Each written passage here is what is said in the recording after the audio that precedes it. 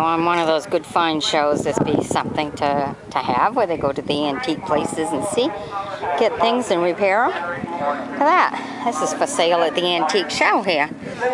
All right, this got New York plates on it. It's a 1975 Ford Maverick Coupe. Look at that. Hey, it's underneath the trees here, so it's getting some of the trees on it. Wow, look at the green. Wow, look at the seats. Really nice. It's a Maverick.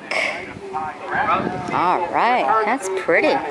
It's a nice car. All right, here we have another blue one. This is also a Maverick. Nice blue. Look at that. Skull head. All right. yep, complete skull head here. Yay! That's cute. All right. There you go, Blue Maverick. Here we have another truck here. There you go. Another antique. This is a 1989 Toyota. All right. We have this nice red car here. Just taking you through a bunch of them that are out there. We're at the Owls Head Museum, and this is the beginning of the season where everyone can just come to the show and see what you want to see.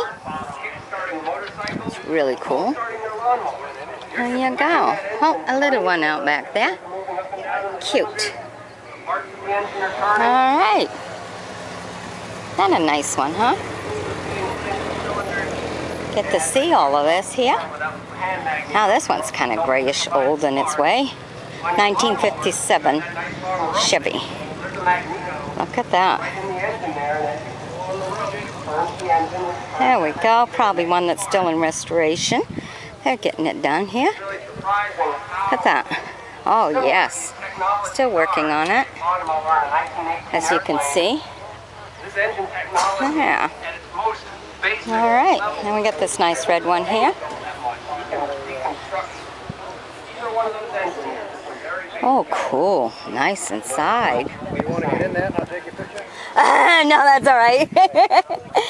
ah, 1966. All right.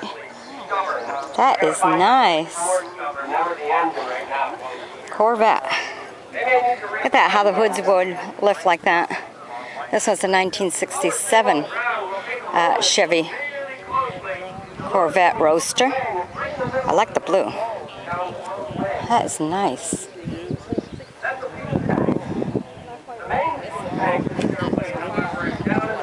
Oh, wow.